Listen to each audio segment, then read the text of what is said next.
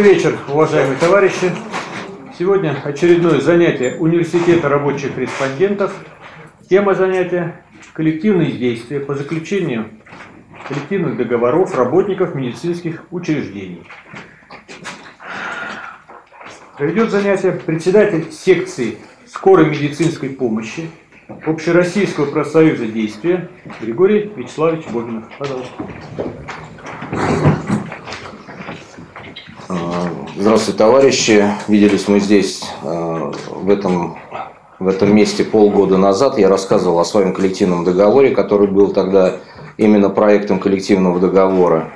С тех пор прошел уже, прошло полгода, за это время случилось очень много событий, и об этих событиях я вам сейчас расскажу.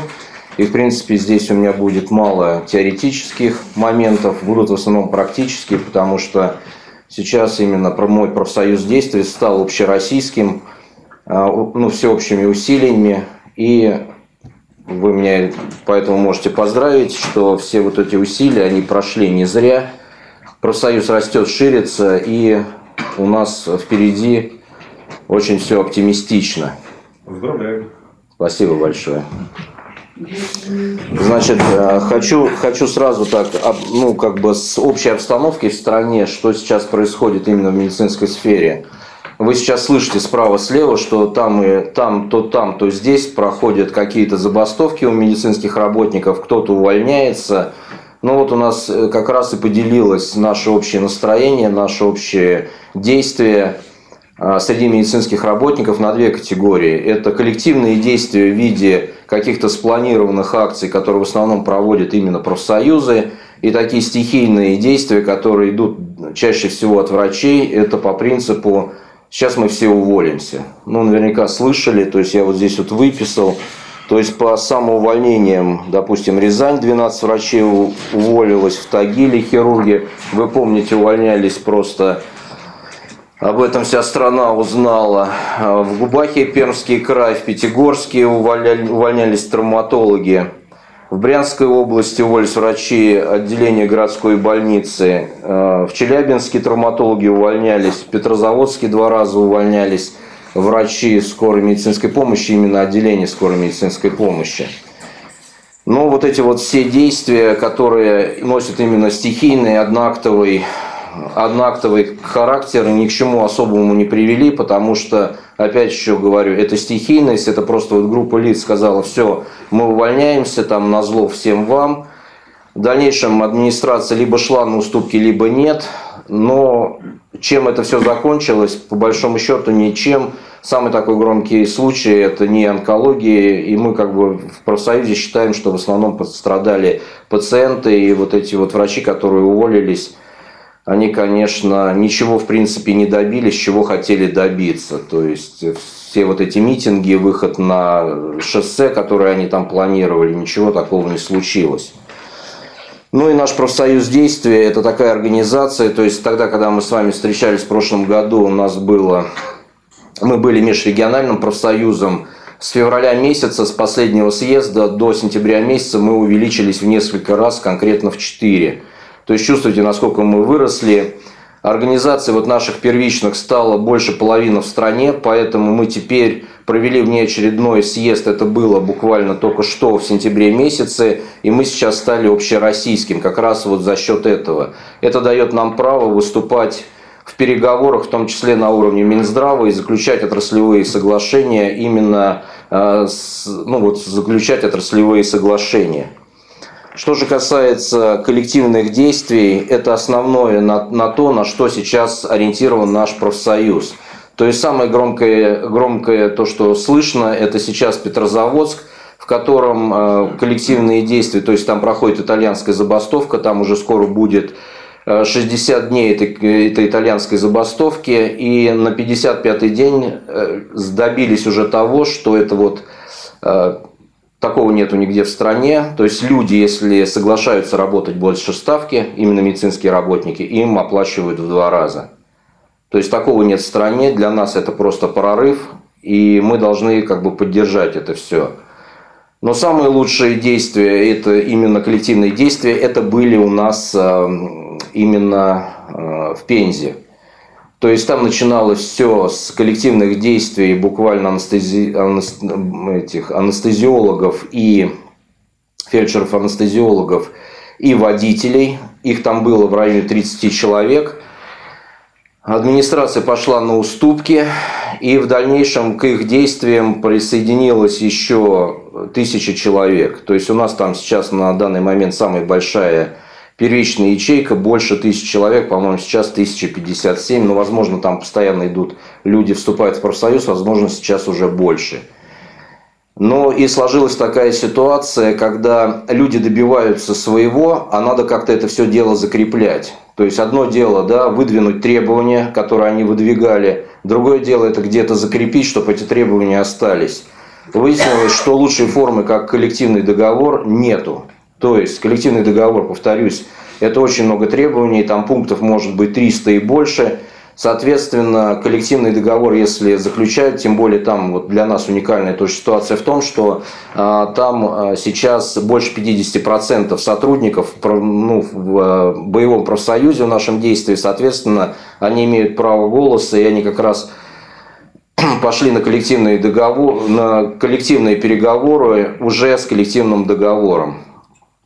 Э, хочу сказать, что именно основа этого коллективного договора была именно тот коллективный договор, о котором я вам рассказывал 6 э, месяцев назад. То есть в профсоюзе никто ни от кого ничего не прячет, все достижения всем делятся, соответственно, я всю, ну, все, весь свой наработанный материал, который мы отрабатывали здесь, в Санкт-Петербурге, я полностью отдал в Пензу, и сейчас тоже в реальном времени, это проходит сейчас, участвую в консультациях, но также слежу, как это все дело разворачивается вот конкретно сейчас, сию секунду, именно в городе Пензе. Очень все тяжело там проходит. Каким образом? Потому что если в э, летом, когда Пенза э, отбила себе, ну, все, все требования, которые они выдвинули, были удовлетворены, там все растерялись, то сейчас именно администрация вся Пермского края – Ой, Пензы, Пензы, Пензы, вся администрация Пензы сплотилась, и как бы именно администрация больницы, э, скорой помощи постоянно выезжает на консультации в центр, там консультируют, дали специальных юристов, и э, люди там, конечно, им тяжело отстаивать свои права, потому что, сами понимаете, э, костяк – это фельдшеры, они, конечно, умницы, но одно дело это, ну, как бы работать в медицине, где они просто доки, и понятно, они там профессионалы. Другое дело, они приходят в другое поле, вот это их надавливает, но есть такой классный момент, отработанный всеми, кто входит в коллективные договоры, когда что-то не понимаешь, сдаешь позиции, уступаешь коллективного договора, говоришь следующее. Извините, как бы я представляю коллектив, мы представляем коллектив, нам надо выйти, мы как бы должны посовещаться с коллективом. И, соответственно, естественно, идет и консультация с Центральным профсоюзом, с юристами, с нашими, со всеми, со всеми, кто уже был в этих коллективных договорах. А, строятся новые позиции на следующий день и снова входим в переговоры. То есть Основной момент здесь идет именно, что ну, вот именно понимание сложилось, что вот эта группа лиц, которая идет на коллективные переговоры, они не замыкаются в себе, потому что любую группу лиц небольшую можно сломить, можно с ними договориться, можно чем-то заинтересовать.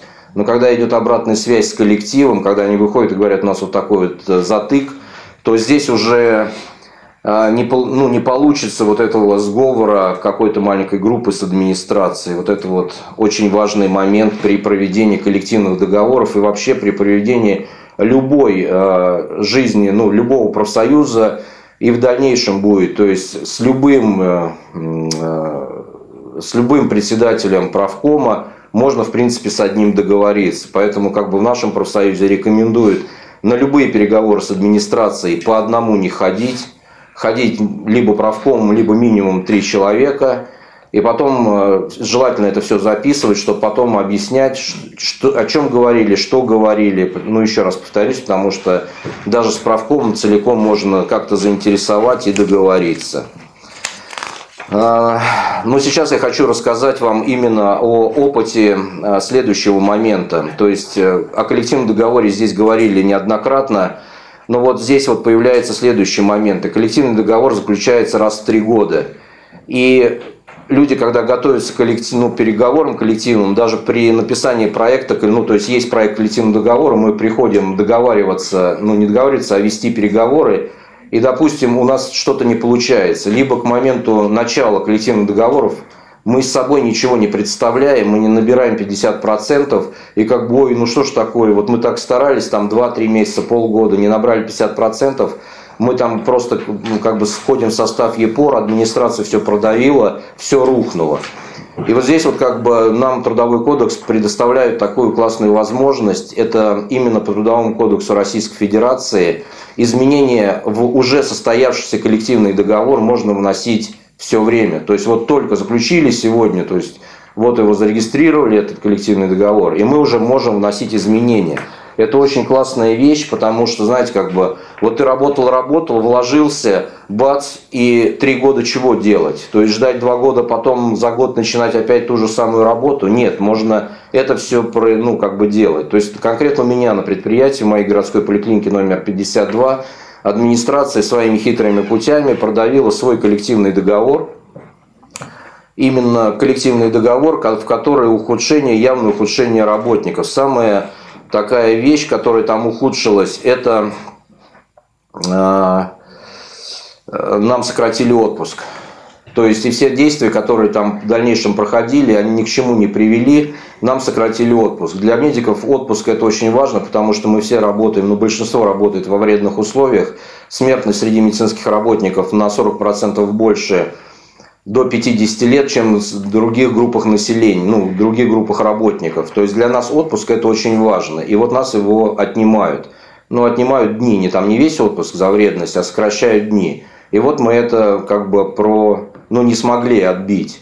Но при этом профсоюз действия, естественно, на моем, э, в моей больнице не перестал на этом существовать. Мы собирались не для того, чтобы Э, на это, ну, как бы защитить коллективный договор и успокоиться. Нет, конечно, для профсоюза главное это существовать во времени. И именно работа постоянная и складывается из каких-то мелочей, и вот таким образом развивается и живет профсоюз. Мы собрались правкомом, и с помощью наших товарищей, ну, со стороны нам помогли, э, нам предложили форму, ну, мы вместе разрабатывали это все. Форма называется предложение работников по изменению и дополнению коллективного договора Санкт-Петербургского государственного бюджетного учреждения здравоохранения городская поликлиника номер 52 на 19 и 22 годы. Соответственно, здесь вот очень все просто, я сейчас раздам по рядам. Все очень просто, здесь три колонки. И очень просто, начиная со слов «настоящий коллективный договор», написать и конкретно что написать. Какой-то пункт исключить, какой-то пункт исправить. Так раздам, чтобы было понятно. Если кому-то надо, естественно, можно взять себе. Вам да?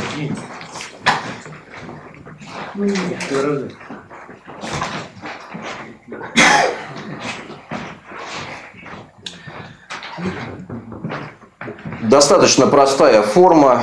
И, соответственно, если коллективный договор, там очень-очень много пунктов, в принципе, мы решили особый упор делать на несколько позиций, то есть вот именно этот документ состоит там буквально из 30 пунктов, из них для нас принципиально осталось только 5. Вот по этим принципиальным пунктам мы написали вот такую листовку, и буквально на, на той неделе мы запустили эту листовку по... Мы запустили вот эту листовку, запустили на э, непосредственно в поликлинике. То есть я опять сделал тот же самый ход, а, распечатал это не на белой бумаге, а распечатал это все на зеленой. И вчера разговаривал с представителем администрации, как бы просили меня эти зеленые бумажки больше по поликлинике не раскидывать. Ну, естественно, я буду это распространять. Я захожу в кабинет и объясняю свою позицию. На данный момент я, опять же, единственный из профсоюза, который открылся, чтобы ни на кого давление не оказывалось, потому что давление сразу как бы идет очень серьезное. То есть у нас в стране к любому профсоюзу, это не касается не только медицинских организаций, если на предприятии ну, открывается альтернативный профсоюз, это воспринимается администрацией просто как обида. Просто вот как личная обида, и надо вот все сделать, чтобы профсоюза не было. То есть вот совсем недавно в сети появилась информация, непосредственно позавчера а, попала в сеть переписка профсоюзника Московской области скорой медицинской помощи, именно ФНПРовского профсоюза, где он называет наш профсоюз такими словами, как «нечисть». То есть, чтобы вот этой вот нечисти, у нас появилась нечисть в коллективах там на скорой помощи в Московской области, надо от нее, от этой нечисти избавляться. То есть, это вот так вот относится к людям, которые объединяются в свободные профсоюзы и ведут борьбу за свои права. То есть вот вы видите вот эту форму, такие небольш, небольшая форма, то есть э, форма есть, осталось только провести какие-то действия. То есть агитационные материалы мы сейчас разрабатываем, то есть не только для поликлиники, но и для Вообще для Санкт-Петербурга сейчас идет это движение, потому что не только, на нашей, не, не только в нашей больнице идет ухудшение оплаты, условий труда и тому подобное, но еще а, чтобы вступить в коллективные действия, здесь вот ну, приходится вот с таким нюансом складывать, ну, вернее, сталкиваться. Это когда люди разрознены настолько, что а, первое, все работают по отделениям, отделений много. Даже если вы зайдете в поликлинику, вы знаете, там есть хирургическое отделение, терапевтическое отделение, плюс разбиты по сменам, кто-то приходит в утреннюю смену, кто-то приходит в ночную смену. А есть подразделения, которые, например, скорая помощь нашей поликлиники, которые работают круглосуточно. То есть чувствуете, насколько это все разбито. И вот здесь вот была представлена, ну, разработали такую форму, когда мы приходим а, от профсоюза действия, то есть мы будем приходить в разрозненные эти коллективы, пусть там будет 5 человек, вот просто 5 человек. Собрание проводится по одной и той же, по одному и тому же протоколу. То есть в протоколе два ну, одна и та же повестка. И когда мы по одной и той же повестке проведем собрание во всех подразделениях, и потом это все суммируем, то получится, раз мы по всем, во всех, ну, во всех подразделениях проходили по всей, э, по, одной, то, по одному тому же протоколу с одними и теми же вопросами, то вот это при суммировании будет понятно. Большинство за э, Э, внесение изменений в действующий коллективный договор или не большинство. Если будет большинство, то это нам даст основание выйти на, на коллективные переговоры по изменениям именно в действующий коллективный договор. Плюс еще разработали такую форму, как представление интересов работника. То есть я тоже вот тут вот распечатал. Значит, представление интересов работника это по Трудовому кодексу Российской Федерации, то есть мы ушли от э, слова такого как доверенность, а именно представление интересов работников. То есть лучше, конечно же, вступить э, в профсоюз, то есть будут и заявления в профсоюз, потому что только коллективными действиями можно как-то решить э, что-то на предприятии. Вот. Но если человек, ну там что-то боится, тому подобное, бывают такие люди нерешительные, ну хотят хоть как-то поддержать, то они могут подписать вот эту вот бумагу, тем самым отдавая свой голос при ведении коллективных переговоров. То есть это один из вариантов набрать большинство для того, чтобы вступить в переговоры. То есть э, в целом получается именно мы и теоретически, и э, юридически обоснованно будем вести свою работу, плюс подкреплять это все различными листовками и тому подобное. То есть все это, все это началось, профсоюз общероссийский, и я думаю, что будущее за нами. А, вот. А, что касается, это вот что касается коллективного договора именно в моей, в моей организации, где администрация продавила свой коллективный договор и ухудшилась. То есть работа будет сейчас проводиться именно вот в этом ключе. В принципе, вот этот алгоритм, он действен, ну, действителен для любой организации в принципе, потому что все основано на Трудовом кодексе Российской Федерации. Можно поменять это все там на строителей, крановщиков и заводы, фабрики любые и действовать по этому алгоритму. То есть, если есть что-то плохое, то берете требования, если есть коллективный договор, это можно в виде изменений в действующий коллективный договор. Изменений и дополнения. В этом ролике, который будет здесь, мы добавим да, вот эти все формы, чтобы люди смотрели, просто видели.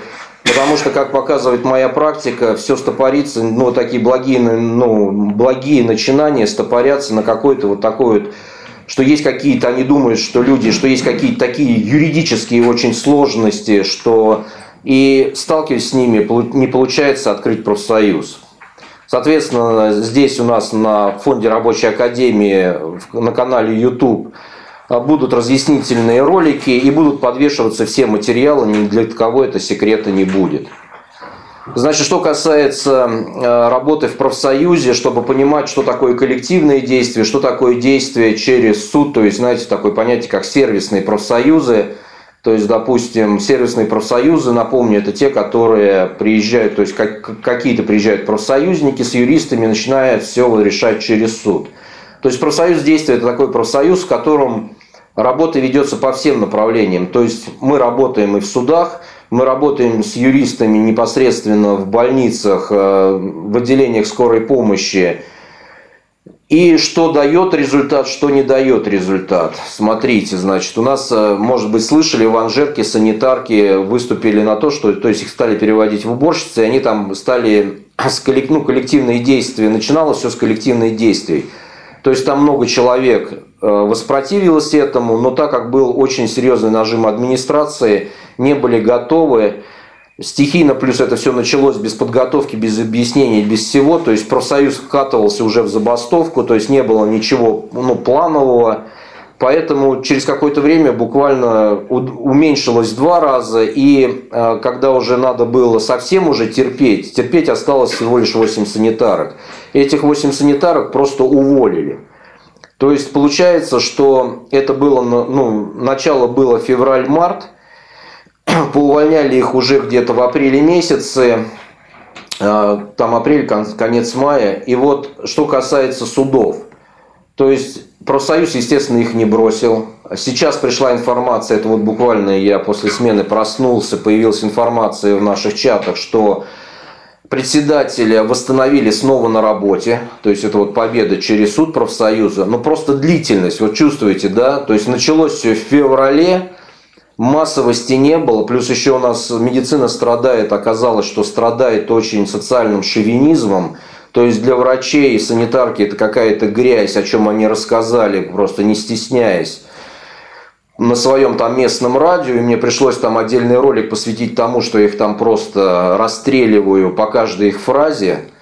То есть вот такое расслоение, то есть коллектив не поддержал их, осталось 8 человек, их всех поувольняли, профсоюз их не бросил. Сейчас это все дело идет в суде, восстановили на работе председателя а, и дальше следующих тоже восстановят. Но насколько это растянулось?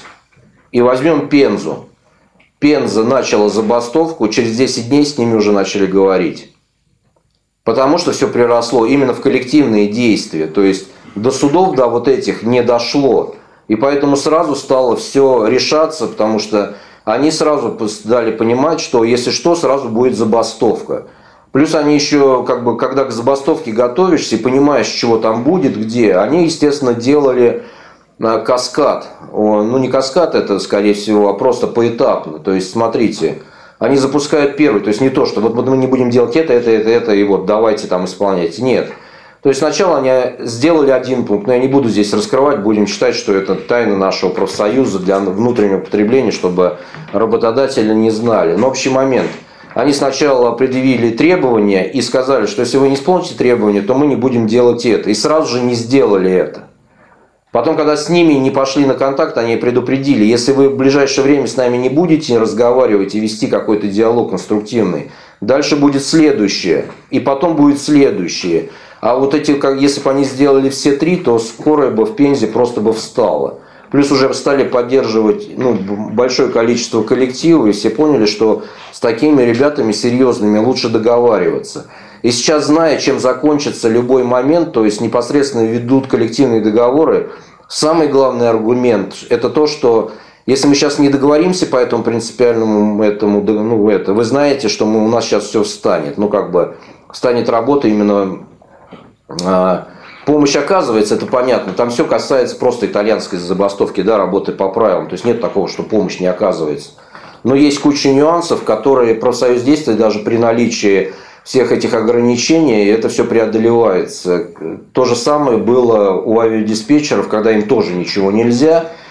Но когда работает целый профсоюз, целая организация, много, ну, одна голова хорошо, а тысяча лучше, то, соответственно, всегда находятся нюансы.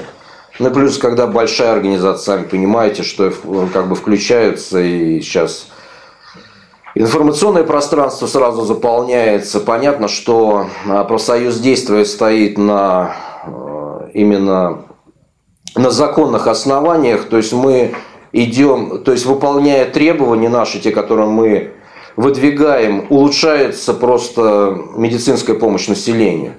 То есть люди понимают, что врачи не просто там из-за каких-то денег там бьются, там многоплановость э, именно этих требований такая, то есть развернутая, что люди понимают, что если будет вот это все исполнено и медицинское обслуживание будет лучше, и не сидит профсоюз где-то у себя там заперся там, допустим, где-то на станции, там врубил какую-то бесполезную голодовку, на которой просто теряются силы, а нужны для забастовки нормальные силы. Но это все как бы идет объяснение, то есть через коллектив, через средства массовой информации доводится до, до населения, короче, что происходит и, и как бы администрация вот при таком раскладе предстает в очень невыгодном свете. Ну, то же самое касается в Петрозаводске. Может быть, кто-то наблюдает там, как бы администрация, не задумываясь, стала такое говорить в открытом режиме, что просто повергло в шок все население, что они там думают и что в головах у этой администрации, которая просто не обращает никакого внимания на своих сотрудников и не заботится вообще о них. Сколько у меня времени? Нормально. Просто попросили побыстрее, чтобы вы тут не спали. Тему раскрыть. Раскрыть, хорошо.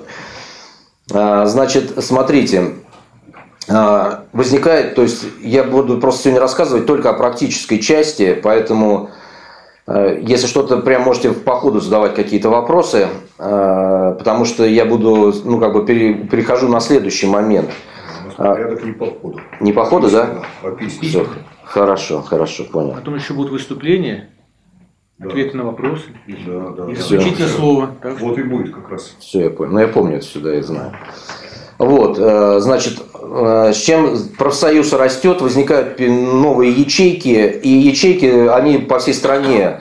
То есть иногда она настолько ячейка оторвана, ну именно оторвана территориально от других, что кажется, ну как до них доехать, им надо куда-то ехать, у кого-то учиться, но вот сейчас средства коммуникации современные позволяют вот сразу новую ячейку э, влить в наш новый профсоюз, и вот председатель и его заместитель сразу попадают в организаторы, такие у нас есть чаты, где э, находятся организаторы действия, и люди, попадая именно в этот чат, они начинают, просто находясь в этом чате, учиться.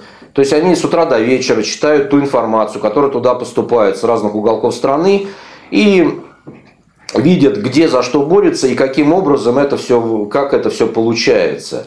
Плюс они попадают на такие у нас ресурсы закрытые, в которых идет документация. То есть та документация, которая уже разработана и удачно применялась э, ну, в профсоюзе. Ну, например, вот тут вот я распечатал, э, передам, инструкция, что должен делать новый член профсоюза, который вступил в профсоюз, и что он не должен делать. То есть мы рекомендуем сразу не объявлять, э, пока ячейка слабая, пока не понимаете, чего делать, надо самим попробовать пожить профсоюзом, сформироваться как организацией. То есть перед каждой первичкой стоит задача не просто добиться э, того пункта, из-за которого они там образовались. Чаще всего это как бы нарушено, э, нарушено какие-то моменты по ну, по зарплате, да, это самое часто. Вот совсем перестали платить деньги. Но когда эта ячейка попадает к нам в профсоюз, понимают, что деньгами все не заканчивается. Есть обычная жизнь, обычная работа, что на работе мы просто умираем. Что, чтобы не убирать, умирать на работе, есть какие-то нормы, которые остались с Советского Союза. То есть есть какие-то нормы нагрузки, о которых уже все забыли. Соответственно, нет инспектора труда, который это все отслеживает. Но это касается не только медицины, это касается вообще всех профсоюзов. И перед этой ячейкой уже сразу задача просто существовать, научиться быть организацией, жить организацией, ставить перед собой э, цели на полгода, на, на квартал, на месяц вперед и их выполнять. Но для начала просто надо понять, что вот мы организация, и мы должны себя как-то защитить. Вот как раз вот эта инструкция и есть. То есть, если вдруг узнали, что ты там в профсоюзе, на тебя началось давление, что надо говорить начальнику, что не надо говорить, куда надо идти, кому надо звонить, что, о чем надо. Вот как раз, ну, посмотрите, это такая интересная инструкция. Очень там все просто, но это ну, предотвращает людей именно, э, предохраняет людей от Э, ну, так, от того, чтобы все бросить, а у меня ничего не получается, надо на меня напали, я хотел за вас, за всех, а вот так вот получилось. Чтобы вот этого не было, человек как бы чувствует, что он, он больш, находится в большой семье, ну и потому, что происходит в чате, и как люди ведут себя с администрацией, как борются за свои права, складывается впечатление, что люди просто и стали там это в основном. Потому что как бы организовались и добились, и все равно и добиваются при любых вообще раскладах, добиваются того, что нужно. Вот сейчас идет громкое дело, это когда санитарку травят уже два года, и вот она в профсоюз действия влилась, и мы сейчас начали как раз э, кампанию по поводу того, чтобы эта травля прекратилась со стороны врачей и администрации. То есть опять речь идет о социальном шовинизме, который оказалась среди медиков очень такой, такая серьезная, очень серьезная проблема. А, ну так вот, организация организ... ну, образовалась первичка, естественно, попадает под крыло у нас мощные организации, то есть всегда есть юридическая поддержка, если что-то на месте, но первичка должна прежде всего рассчитывать на свои силы, то есть организация да, но первичка должна построить себе план борьбы, то есть перед первичкой сразу возникает комплекс мероприятий, которые она должна и обязательно должна пройти, то есть вот вы организовались э, три человека, вот достаточно, чтобы профсоюз организовать, да, ячейку три человека. Дальше что вы делаете? То есть, а дальше что делать? А дальше делать все очень просто. Ну, во-первых, надо проводить собрания, это очень дисциплинирует. То есть собрания должны проводиться минимум раз в месяц. Туда должны приниматься под протокол. Во-первых, собрание ведется под протокол. Берется вот такая вот огромная тетрадка, вот такая тетрадка огромная. И пишется прям протокол. Протокол такого-то числа присутствует, допустим, 5 человек. Повестка такая-то, докладчики такие-то, доложили то-то, то-то. А, план на месяц был такой, сделали то-то, не сделали, почему не сделали. План на месяц, план на квартал, появились изменения, в, допустим, предложение о внесении изменений в устав. Давайте проголосуем, это дисциплинирует, это понятно, как развивается профсоюз и что мы делаем. Второй момент обязательный, это, естественно, понять, где вы находитесь, то это сбор информации, банальный сбор информации, что за предприятие, естественно, все документы, которые возможно достать, то есть это э, коллективный договор, если он есть на предприятии. Второй момент – это свои должностные обязанности. Третий – это карты СОУТ или аттестация, или что у вас там есть, если ничего нету, то тоже. То есть сразу получается несколько направлений, на которые надо обратить внимание. По этим нескольким направлениям понятны действия уже в нашем профсоюзе, что надо сделать, чтобы изменить ошибки ну, при, при, при проведении СОУТ. Э, Все понятно. Если не проведено СОУТ, понятно, как проводить это СОУТ, на что обращать внимание, какой класс вредности по той или иной э, специальности стремиться. Если это коллективный договор, то, соответственно, вот сейчас, когда Пенза пройдет все эти этапы, будет не просто проект коллективного договора, а именно уже действующий коллективный договор, который может потом быть, ну понятно, основой, то есть проектом уже для вашего предприятия. Третье направление – это просто развитие самого профсоюза. А, это просто... Сейчас что-то... Это развитие просто своего профсоюза.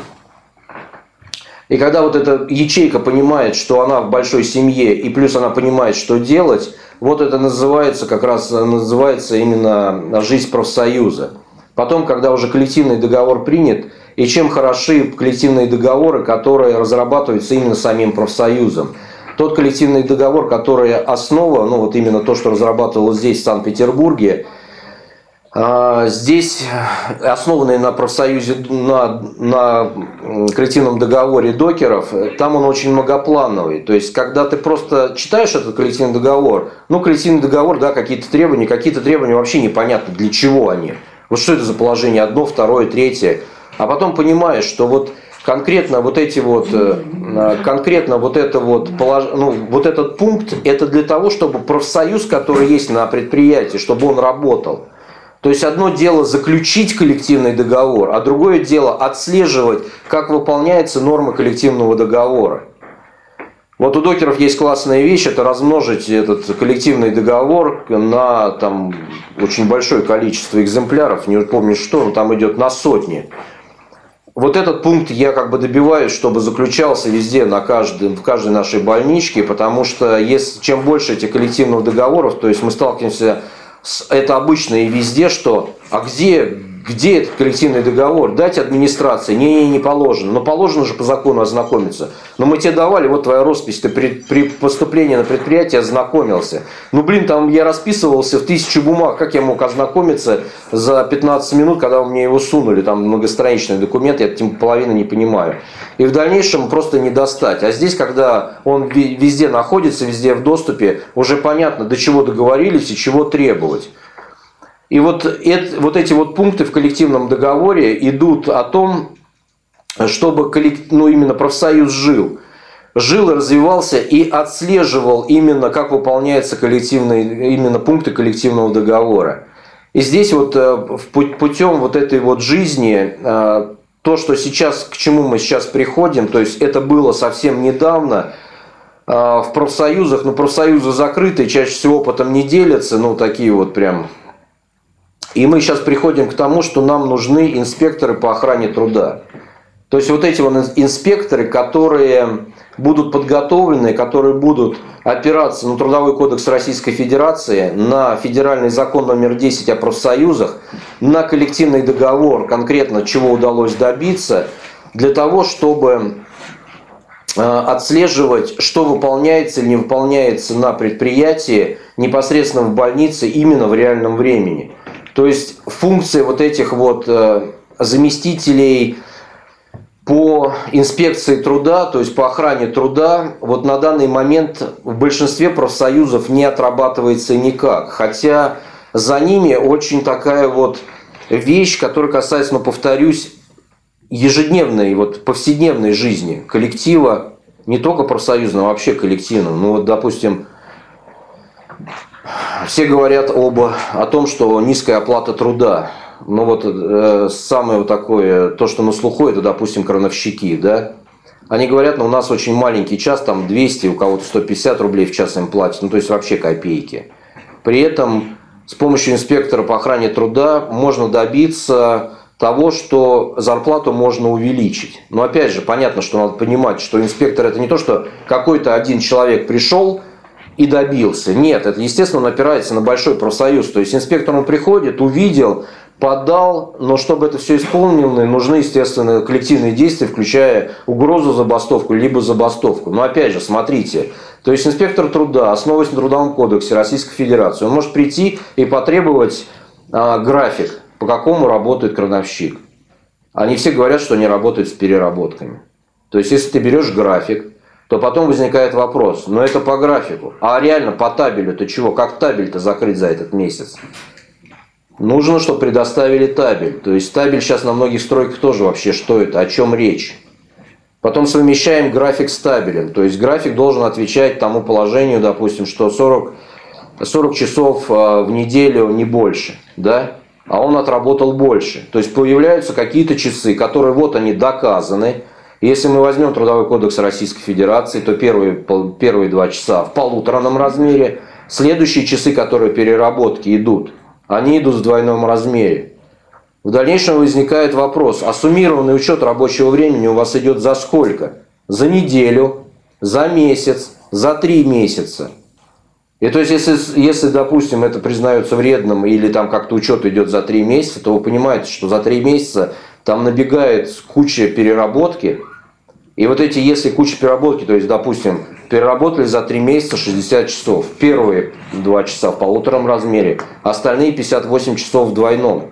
И вот, то, что зависит от инспектора труда, он указал, составил акт, и потом на основании этого акта проводятся какие-то действия, то есть можно написать там э, в трудовую инспекцию, ну все понятно. Но опять же, говорим о самом лучшем варианте, что слаженный коллектив это можно поддержать забастовкой, то есть пока не заплатите, мы не будем работать. Мы же по закону, мы же не против закона, вот я просто объяснил элементарную ситуацию. Уже таким образом можно поднять ту же заработную плату себе, чем сейчас вообще никто не занимается. То есть что такое инспектор, о чем? А тут достаточно как бы прочитать трудовой кодекс. Я посмотрел там без оглавления, он всего 198 страниц, вот такая маленькая книжечка. Закон 10 о профсоюзах. Ну и у каждого есть своя нормативка, это именно по охране труда. Но у каждой специальности свое. Я как медик знаю свое, естественно, я не знаю о крановщиках, но это все везде в доступе. Могу, как бы, если понимать, о чем речь, скачать эту и понимать, что. Но тем более крановщики сдают постоянно технику безопасности. Самые элементарные вещи они, естественно, знают.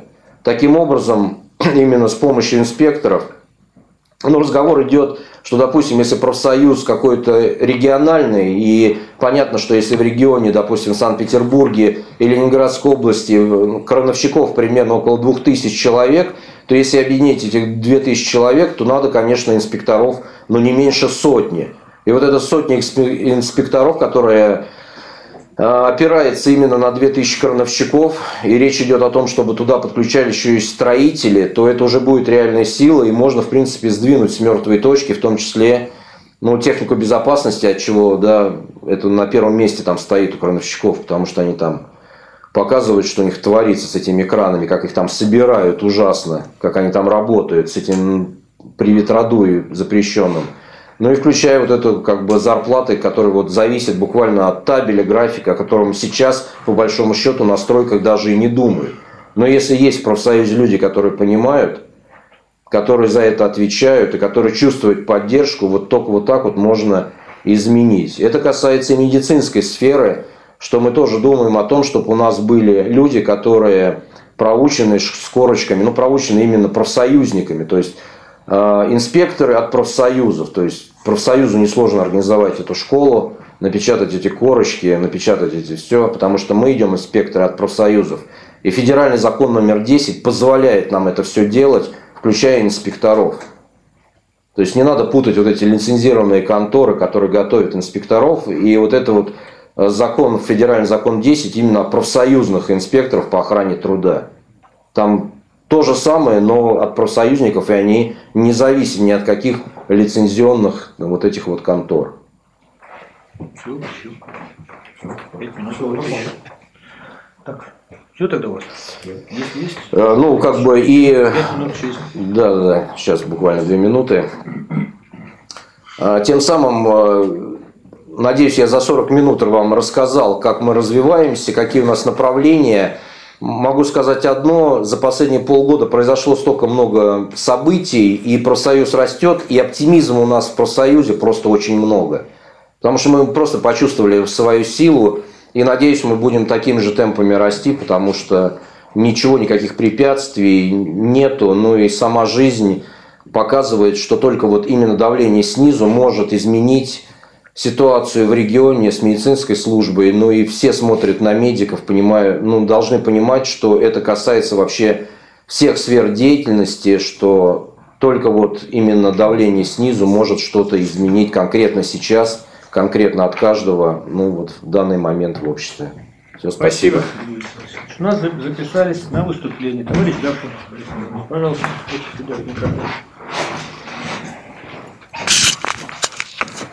Товарищи, ну вот в рамках университета рабочих корреспондентов, фонда рабочей академии, мы э, с вами посмотрите, какие пласты э, поднимаем.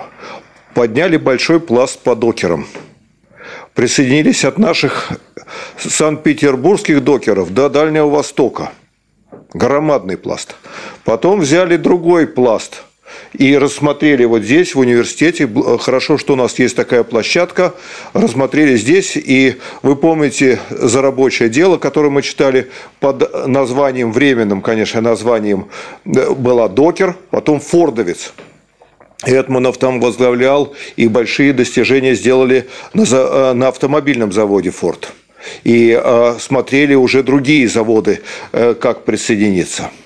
Громадная работа проведена, и сейчас она проводится э, Ковалевым и в университете рабочих корреспондентов мы рассматривали председателя авиадиспетчеров России. И э, он публикуется у нас э, в «Народной правде». И громадный пласт. Метрострой рабочие, громадный э, пласт и интересы, когда они выплачивали месяцами зарплаты, опять э, э, фонд рабочей академии и здесь э, разбирали. И сейчас взят э, большой пласт, который у нас э, не был затронут, это медицинские работники. Спасибо за интересную лекцию и полезную лекцию. А польза в первую очередь кто выигрывает? Рабо рабочее движение. И э, именно рабочий класс да, э, все больше и больше присоединяется. Вот как Боин сказал, в четыре раза увеличилось. Но если вот такими темпами будет в разы увеличиваться, то это в целом выигрывает рабочий класс. Поэтому спасибо еще раз за лекцию и ректору за то, что вот такие вопросы у нас затрагиваются, не только теоретические, а у нас вот молодежи много, теории хватает. А э, надо смотреть и молодежи, а какой бы пласт еще взять громадный, чтобы что у нас все, все э, направления, все вектора э, развития производства или э, России, в том числе и медицины, это вот эти пласты. Но есть же и другие пласты, поэтому надо какой-то пласт взять, быть лидером, и тогда выиграют рабочие, будут рабочие, будут капиталисты, и выиграет вся страна. Спасибо. Леша Иванович, пожалуйста. У нас повышение квартплаты с Нового года сильное повышение. Что решит э, Уважаемые товарищи, на самом деле очень радостно слышать о том, что в России растет рабочее движение, в России растут забастовки, в России растет активность рабочих. Вот товарищ Бобинов провел очень интересную лекцию.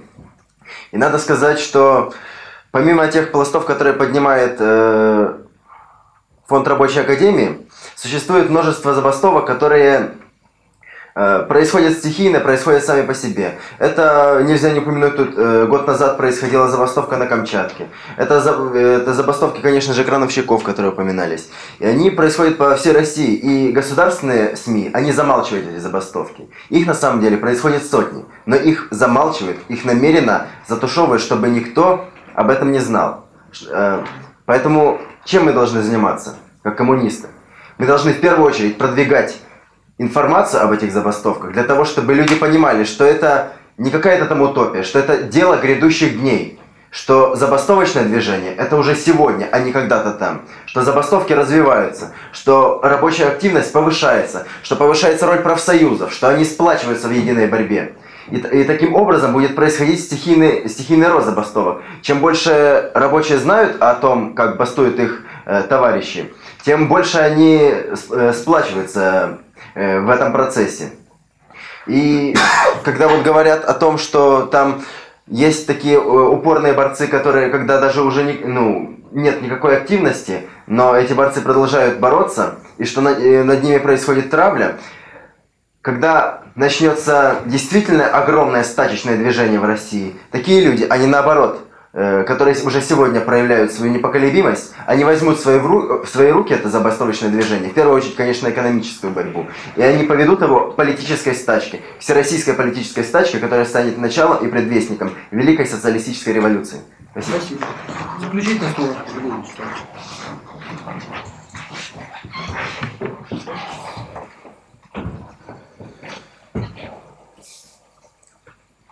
Как показывает, э, как все правильно сказано, что надо все это освещать, именно фонд рабочей академии непосредственно вот эта площадка, которая здесь есть, это университет рабочих корреспондентов, освещает это все, что происходит сейчас в стране в реальном времени, и вот это как раз и надо делать. То есть совсем недавно информация о стачках, о том, что делают в коллективах, она была настолько закрыта, недоступна и непонятна для многих, что люди и не шли в профсоюзы и просто от недостатка информации. Но нет вот этих людей, и от тех, вернее, есть люди, которые прошли забастовки, но вот как-то за, в себе закрылись эти профсоюзники, и это все не выходит. А именно вот эти наши площадки, здесь все раскрывается, здесь все объясняется. Спрос сейчас появился очень огромный. И большое спасибо, что здесь есть такая площадка, на которой можно рассказать о том, что происходит в стране, а главное рассказать о практических путях решения тех или иных проблем, в том числе развития именно профсоюзного движения. Потому что организация, естественно, рабочих идет от, именно от этого. Хочу напомнить, что непосредственно в Рабочей партии России функционирует такая площадка, как Забастком. То есть вы можете все, то есть кто есть и те, кто смотрит эту передачу, найти именно набрать Забастком, и вы увидите, сколько забастовок проходит сейчас, какие удачные, то есть там отслеживается очень много информации, есть статистика, вы поймете, что сейчас на данный момент а, ну не стачки, а именно забастовки идут по всей стране, каждый день где-то есть забастовка, а то и несколько. Еще раз говорю, это вот как раз ресурс Забастком. Непосредственно на фонде Рабочей Академии есть э, канал в Ютубе, где выступают э, люди, которые проходят через забастовки. Смотрите, учитесь. Только что я снял ролик именно я как председатель инициативного комитета первичных профсоюзных организаций Фонда Рабочей Академии. На меня выходят с регионов люди и спрашивают, с чего начать. И вот куча одних и тех же однотипных вопросов. Вот я нашел эти 8 вопросов, самых однотипных. И буквально в ролике на 13 минут с помощью консультации Михаила Васильевича Попова рассказал, как организовать свой профсоюз и с чего начать. За 13 минут достаточно все понятно. Вот такие дела. Так что, товарищи, спасибо большое. Занимаемся правильным делом. А вы на правильном пути тоже, да? Спасибо. Так, встречаемся в следующий четверг. Тема занятия «Классовая борьба в СССР». Читает лекцию доцент Герасимов Иван Михайлович.